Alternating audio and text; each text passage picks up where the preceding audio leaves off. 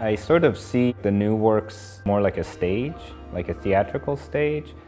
You yourself could see yourself as part of it.